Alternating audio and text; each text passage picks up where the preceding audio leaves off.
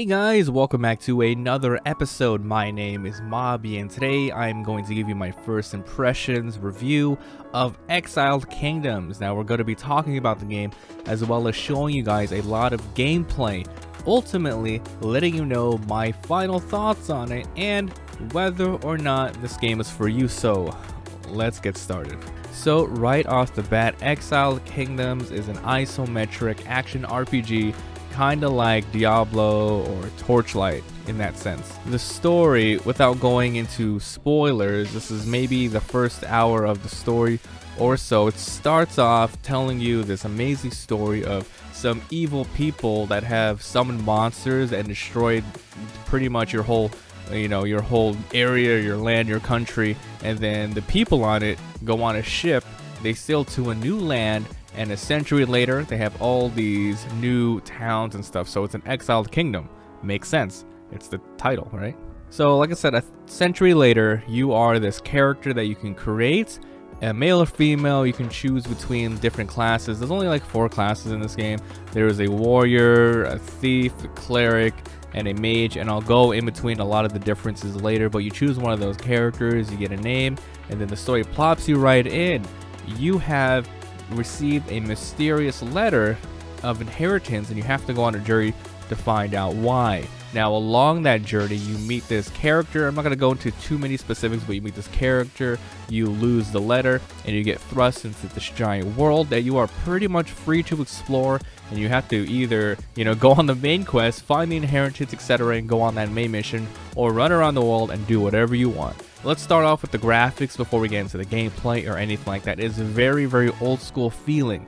Old stuff like Baldur's Gate. It isn't like it's not like essentially the same game, but it has like the old PC, you know, MMO type of deals. It really reminds me of a single player MMO because just the sheer freedom that you have.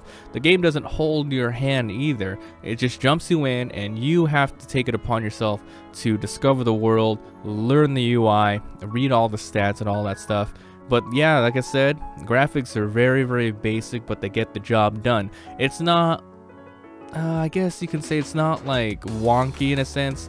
It does what it's supposed to do, and the game knows it. The game knows it. It has a awesome sense of humor. Every single time I found a new item, I would go into my inventory and read the tooltips, and it would say, oh, these braces make you look badass. You know, like, they knew what they were doing. You know, this is a modern-ish game but with old school type of you know gameplay and feeling. So if that's what you're looking for this is a right up your alley. So after a couple hours in the game the graphics really grew on me you know. At the beginning i was like oh i don't know if i like these things. I don't know if i want to like look at this for hours on end. But you know i grew up with those old types of games. So it kind of grew on me. I'm not sure how the younger audience would feel about it today uh, you know with having all these new aaa titles with amazing graphics. But it, it looked pretty good.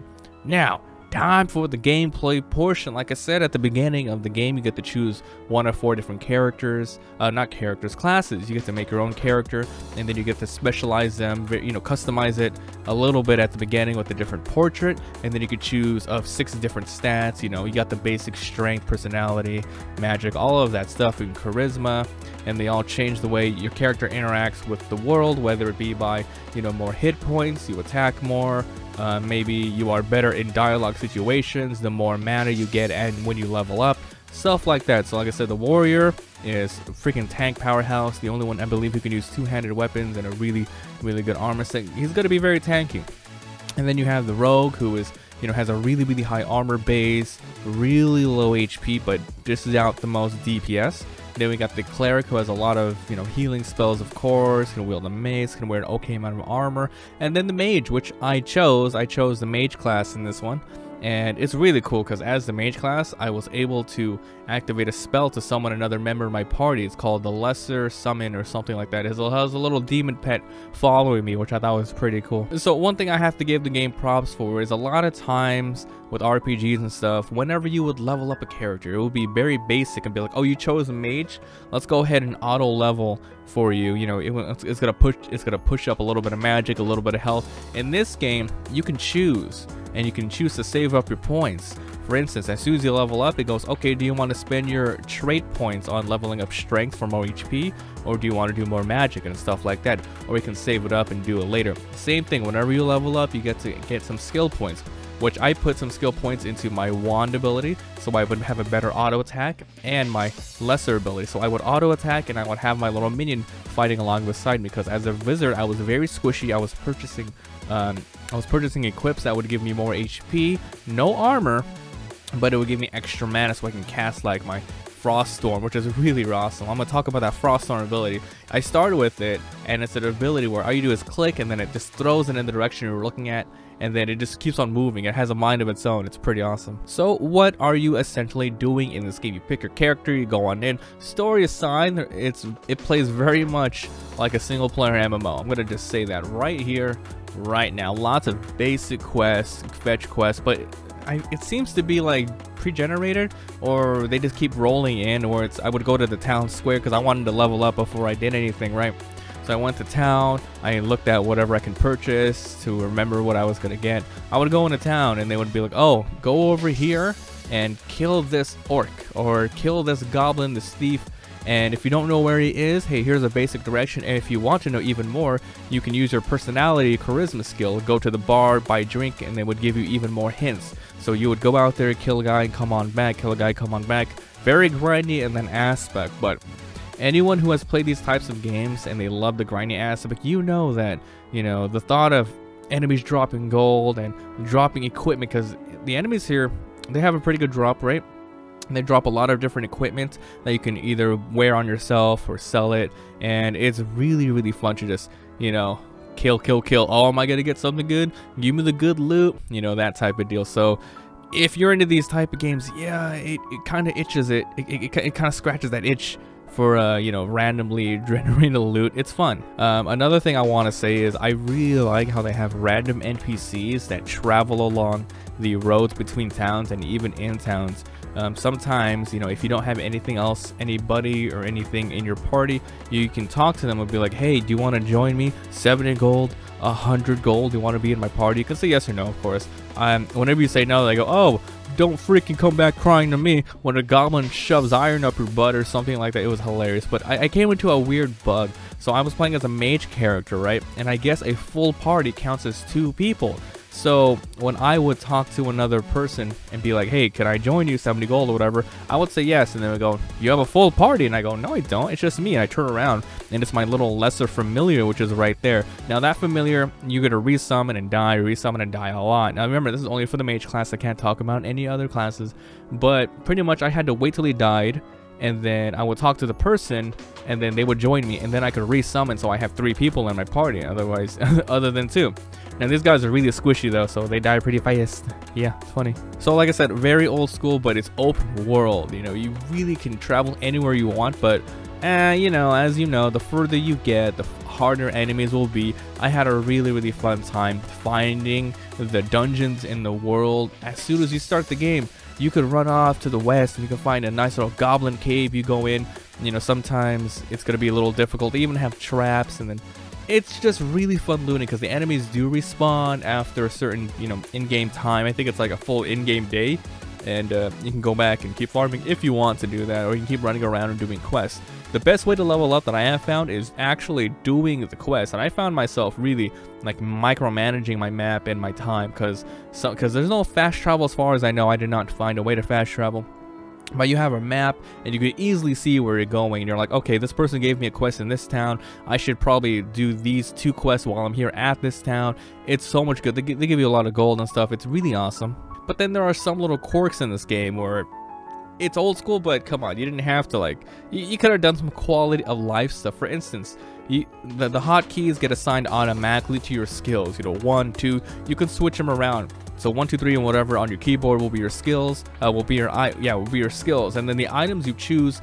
For instance, consumables would be your F1 keys and all that stuff. So I have a red potion would heal me 75 or something like that. I would assign it to my F1 key, right? As soon as it runs out and I pick up another red potion, it doesn't replenish my F1 key. I have to keep reassigning if I run out. So I always find myself having to, let's just say, I don't want to run out. So I always have at least one on it so I don't have to keep redoing that. And you would have to do that for every other item in there. It's a small little annoyance. I wish it was more quality of life in that sense, but small things like that. The game has an auto attack function, but, it, but listen to me when I say auto attack. This is a real-time combat system. You cannot heal during combat unless you have a skill. You cannot open up the menu and equip new things. You are there, you are fighting, you can run away. It's all real time. If you die, you die. Now this game, you're definitely going to want to be hitting F9, which is the quick save in this game. F9, F9, F9 all the time before you get into big battles. Now, there is a little bit of risk though, because if you were playing on the normal setting, and which I was, there's easy, normal, hard, and hardcore, which is pretty much one life type of deal.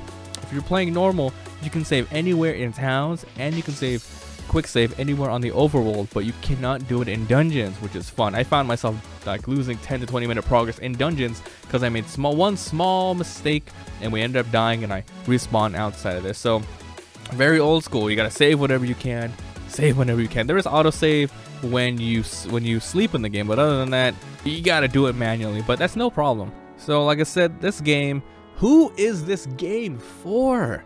This game showed up nowhere on Steam and I really liked it. I saw it and I don't know how many people are actually like me where they see these types of screenshots of an isometric thing uh, with people attacking small little sprites. I don't say sprites, small little models attacking, and a lot of like a lot of stats on the screen explaining. I get really excited when I see these types of games. Anything that is isometric, mostly for the most part, whether it be strategy like Final Fantasy Tactics or you know Disgaea, Mercenary Kings. Was that the game? I just purchased a new game on on uh, Switch the other day, which it was Mercenary something, and it had like three games mixed into one that were originally on the 3DS, but I digress. I get really excited when I see this game. So this game is definitely not for people who are looking for a Diablo, like a crazy, crazy, you know, new game to call their favorite. This is definitely a a one-off, you know, maybe a couple of sessions playthrough. I don't think I'm gonna I'm gonna play it a little bit more because it's really fun, but I don't think this is a game that is gonna shake the world up in any way. I would not even attempt to stream it because my audience would not like it. It's that kind of game where it's more enjoyable for to, to play than watch, and it's very grindy. It kind of plays like a mobile game uh, in a sense where you're just gonna come back every once in a while you know uh, without the microtransactions of course so you know action rpg real time for i would say for torchlight fans diablo fans etc if you're looking for super super heavy heavy story this is not your game this game is all about oh i'm gonna make a new character i'm going to grind it out and i want to make this kind of build let's see how this wrecks the world up so this world is huge i have not explored a lot of it I'm only a couple hours in, but I'm definitely going to play more. And hey, if I do, I might put out another video letting you know my final thoughts. But this is my first impressions review of Exile of Kingdoms. I hope you guys enjoyed. If you did, leave a like. It helps so much. If you haven't already, yo, hit that subscribe button. I upload a lot of daily videos. If you guys have any games you would like me to check out and cover for my first impressions review series, let me know. And if this review helped you out, let me know down below. Are you going to get this game? Is this for you? What, if you played it, what didn't you like about it, etc. Let's get the conversation going. Thanks for watching. I'll see you guys next time.